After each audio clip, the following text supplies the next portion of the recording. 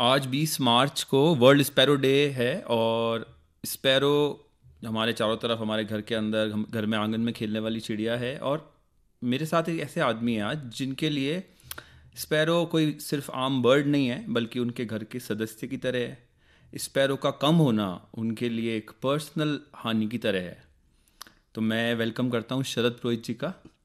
नमस्ते सौरभ जी, और बड़ा अच्छा लगता है कि कोई विज्ञान का आदमी जब आ जाए इस बारे में जानने के लिए कि भाई इस स्पेरो क्या है? घरेलू चिड़िया जिसको बोलते हैं हम। तो मुझे भी बड़ा अच्छा लग रहा है आपसे मिलकर। तो आप पूछें अपने क्षेत्र से पूछें मुझे। और मैं कोशिश करूँगा कि हम दोनों मिलकर इस आम बात को खास बनाएँ। बिल्कुल बिल्कुल। तो आप स्पैरो को लेकर के आपका आ, ऐसा मानना है कि स्पैरो ख़त्म हो रही है? या आपका ही मानना है या आप ऐसा सचमुच में भी है?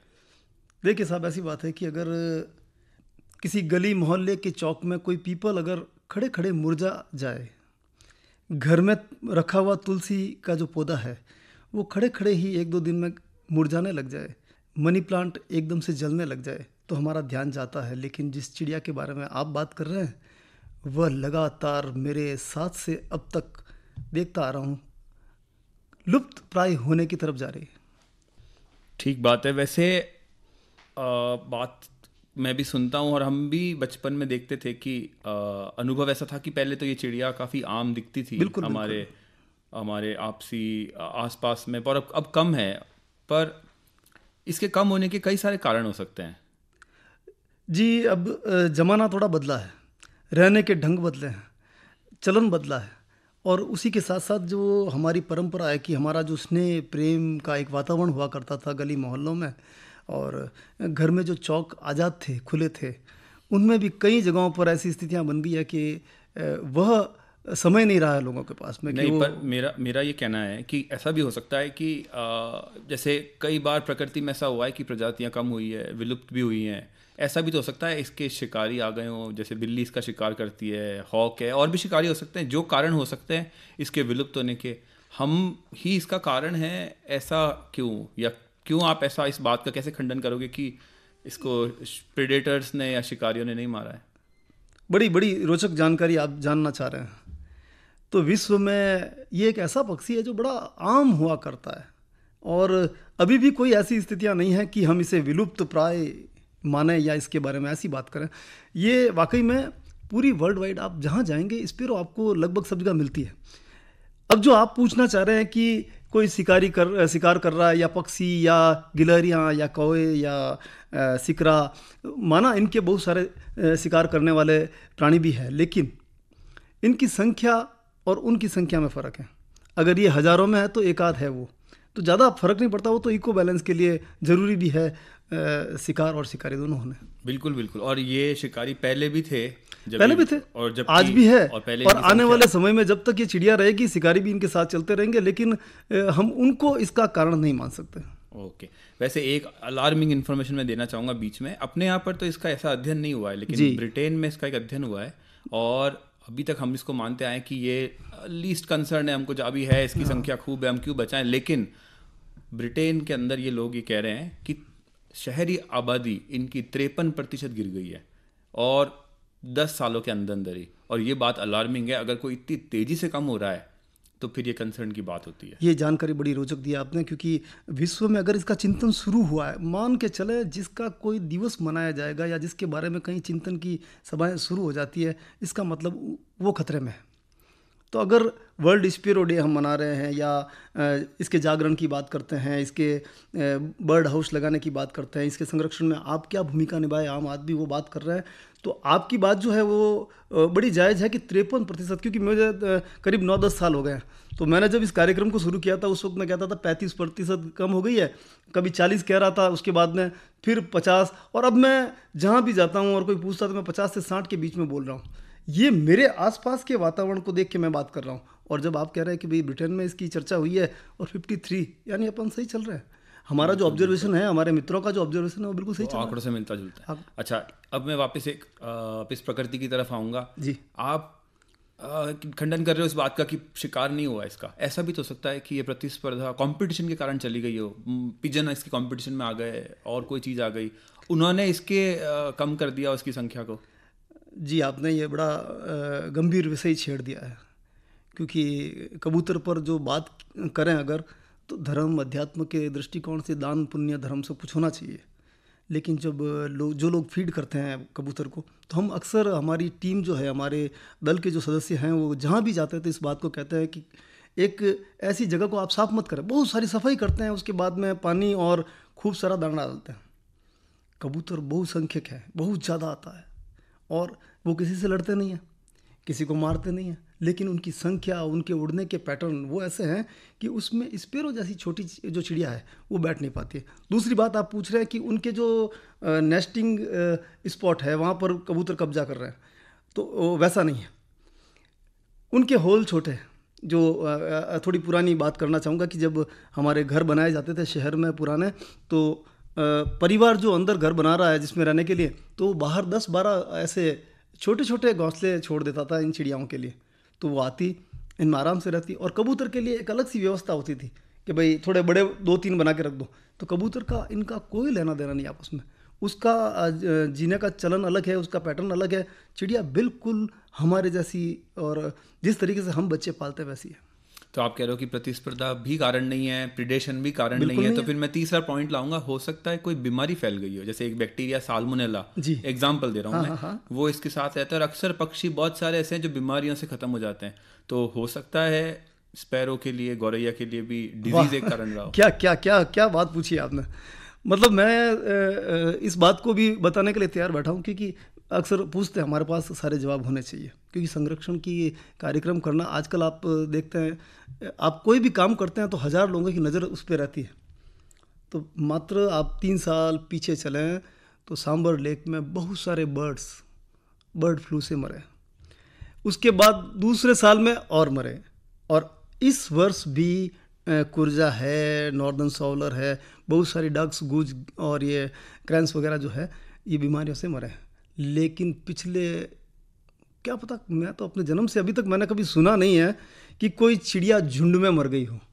क्योंकि इनमें बुज़ुर्ग चिड़िया भी आपको कभी दिखाई नहीं देगी मैं आपसे बता रहा हूँ कि जो चिड़िया बूढ़ी हो जाती है बिल्कुल बिल्कुल। वो हाँ, बीमारी से एक आध का मरना तो हाँ का मरना तो होगी बट झुंड में ऐसी कोई बीमारी नहीं फैली कभी नहीं हुआ तो बीमारी कोई कारण तो नहीं बीमारी नहीं है प्रतिस्पर्धा नहीं है और शिकार भी नहीं है। शिकार भी नहीं चौथा कारण फिर ये हो सकता है क्या कि आ, क्या फ़ूड अवेलेबिलिटी कम हो गई? खाना कम हो गया इनके लिए।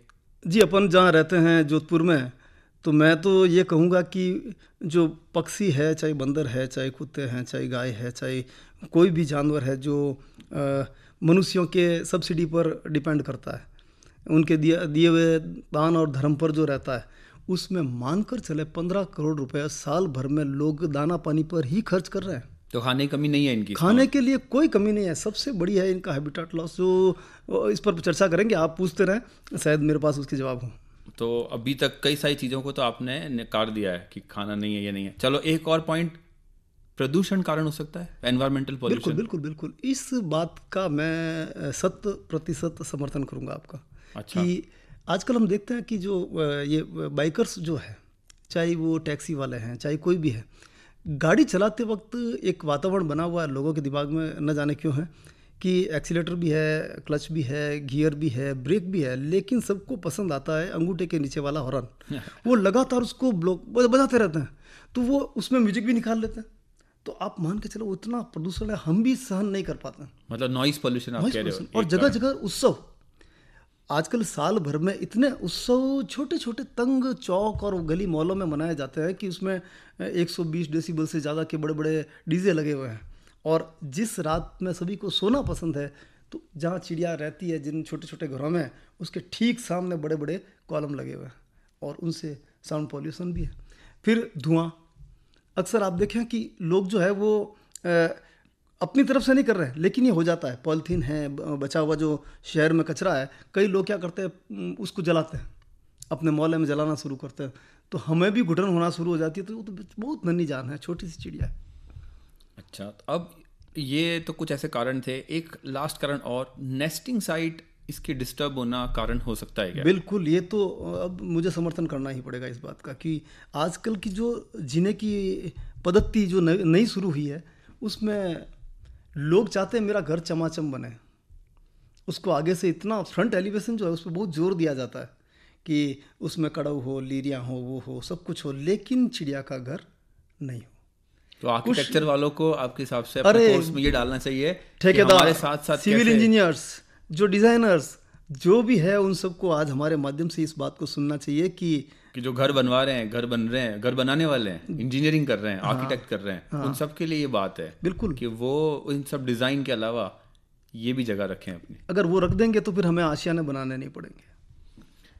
तो शरद जी आपने कई सारी चीज़ों का खंडन किया। कुछ बातों को आपने कहा जैसे आपने कहा प्रतिस्पर्धा नहीं है प्रिडेशन नहीं है बहुत सारी चीज़ें हैं आपने हटा दी खाने की भी कोई कमी नहीं है बीमारियाँ भी नहीं फैली है। नेस्टिंग साइट है जो मुख्य प्रॉब्लम है। अब आप बताएँ हम क्या करें? मतलब आपने हमको बता दिया, हम ग्लानी में भी आ गए। अब हम करें क्या? अब हम कुछ, मैं कुछ करना चाहता हूँ, मान लो, आज यहाँ से जाके और जिससे चैन से सो पाऊँ तो मैं अब क्या करूँ कि जिससे ये हो? चैन से सोना है तो जाग जाओ। आजकल एक जुमला चलता है तो जागने का समय आ चुका है। सौरभ साहब, हम कुछ नहीं करें, क्योंकि आप एक ऐसे पैसे से जुड़े हुए हैं कि जहाँ आपसे हज़ारों लोग दिन में मिलते हैं। आप तो उनसे एक लाइन कहना शुरू कर दीजिए। यार, ये कुछ चिड़िया हुआ करती थी। हमारे घर की चिड़िया। हाउस स्पेरो जो हमारे चौक में गली, दालान, घड़ी के पीछे, पंखे के ऊपर सब जगह होती थी, वो यार कहीं दिखाई दे तो हमें बताना। आप उन्हें प्रश्न देते रहे। हम रोज़ कहते हैं, हम सवाल दे रहे हैं, जवाब हमारे पास नहीं है। तो ये सवाल सब पर दागिए आप। अगर उनको दिखाई देती है और कोई आके कहता, सर, हमको चिड़िया जो चिड़िया है वो दिखाई दे रही है। तो फिर आगे की बात शुरू होती है। अगर वो दिखाई दिए तो क्या वो जोड़ी में थी? क्या वो बच्चे पाल रही थी? नहीं समय है तो आप समय निकाल कर उसे देखना शुरू करें। अगर वो झुंड में थी तो बहुत अच्छी बात। जोड़ी में थी तो भी अच्छी बात। अपने बच्चे पाल रही है तो मज़ा आ जाएगा। और जहाँ जहाँ ये स्थितियाँ हैं, आप बर्ड हाउस लगाएँ। घर में बनाकर लगा सकते हैं, या जोधपुर में कई ऐसी संस्थाएँ हैं, उनमें से हम तो बहुत ज़्यादा दम लगाकर आज दस साल हो गए इस काम को कर रहे हैं कि भाई कैसे भी करके उनको रहने के लिए आशियाना मिले। तो प्रयास करेंगे तो शायद संभव है वो बढ़े। एक और बात, अब कुछ लोग कहेंगे कि शरद जी, मनीष जी या बायोलॉजी वालों का काम है ये चिड़िया को बचाना, हम क्यों बचाएँ? और चिड़िया बचाने से क्या फ़र्क पड़ेगा इस पर्यावरण को, आदमी को? इसका क्या जवाब है आपके पास? वैसे तो घर में जो बुज़ुर्ग होते हैं और ज़्यादा बूढ़े हो जाते हैं, फिर वो शायद कोई काम नहीं कर पाते हैं। बिल्कुल ऐसी अवस्था में आ जाते हैं जैसे कोई छोटा बच्चा तो उनको निकाल बाहर नहीं किया जाता है। बहुत सेवा की जाती है उनकी। अंतिम सांस तक लोग प्रयास करते हैं। डॉक्टर के मना करने के बाद भी चाहते हैं कि नहीं हॉस्पिटल में सारी सुविधा दो। ठीक उसी तरह से दस हज़ार साल पहले ये चिड़िया जो है ना हमारे साथ में आ गई। ये बात बिल्कुल सही है कि ये जो प्रकृति को हमने ख़त्म भी किया तब भी हमारे साथ रहने आ गई। हाँ। हमने इधर निकल के भी आए तब भी हमारे साथ रहने आई। वैसे मैं एक बात ऐड करना चाहूँगा कि जो पूरा इकोसिस्टम है, पारितंत्र जो है, वो हमेशा जुड़ के काम करता है। जैसे एक हवाई जहाज़ हो और उसके सारे पुर्जे हैं। आप ऐसा नहीं कह सकते कि ये पुर्जा काम कर नहीं है, ये पुर्जा काम कर नहीं है। सारे, सारी सारी प्रजातियाँ एक साथ मिलकर काम करती हैं। तो किसी भी प्रजाति को हटाने का जो असर है, वो ज़रूर आता है, भले हमको दिखे चाहे नहीं दिखे। पर आप जो बात कह रहे हो, वो ये बात है कि यही हमको मनुष्य बनाती है। यही हमको इंसान बनाती इंसान बनने के लिए सबसे पहली यात्रा ये है अपने आसपास। अक्सर हम लोग मिलते हैं बात करते हैं या लोगों के बीच में जाते हैं तो हमें ये कहना पड़ता है कि अपने आसपास का सोचें। ज़्यादा दूर मत जाएँ। टाइगर नदियाँ नर्मदा गंगा वहाँ तक आपकी पहुँच नहीं है। आप जस्ट अपने घर के बाहर देखें। अपने आसपास में देखें। आप अपने मंदिरों में देखें। अपने अपनी स्कूलों में देखें। कहाँ कहाँ आपको ये स्पेरोज़ हमारी घरेलू चिड़िया नज़र आ रही है? उस पर नज़र डालें। और अगर आपको लगता है कि हम इसकी सहायता करें, दाना, पानी और सुरक्षा के साथ में एक छोटा सा घर, चाहे जूते के बॉक्स से बना हुआ हो, चाहे लकड़ी का बना हुआ हो, चाहे ऑनलाइन लिया हो, आपने प्रोवाइड करवाइए। अपने आप वो रहने आ जाएगी।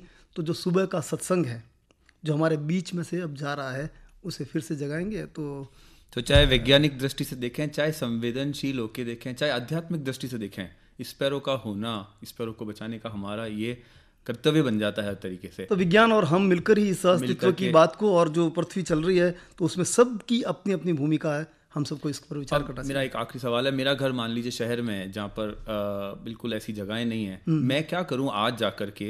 क्या पेड़ उगाऊँ? क्या चीज़ बनाऊँ? जिससे जल्दी मैं उम्मीद करूँ कि ऐसा कुछ हो पाए। कांटे वाली झाड़ियाँ कोई भी उगा दीजिए आप जो थोड़ी बड़ी हो सके।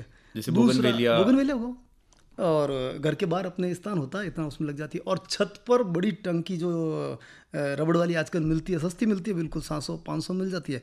उसको लाइए, उसमें एक गिलोय डालिए, उसमें रेलवे क्रीपर डालिए, उसमें लेटर क्रीपर डालिए और वहाँ से उसको गली की तरफ़ छोड़ दीजिए। अगर वो लटकती हुई है तो उसमें मान कर चलें आपको बहुत सारा कलरव, नेस्टिंग और एक जो वंश अपने अंतिम सांस गिन रहा है, उनको जीने का अवसर मिल जाएगा। बिल्कुल तो मैं आज ही घर जाते ही करूँगा और मेरे हिसाब से सब लोग जो सुन रहे हैं वो भी इसी तरह का काम करेंगे। जी जो तो सभी जी को बहुत ही हाँ, धन्यवाद। सुनने वाले सभी को धन्यवाद।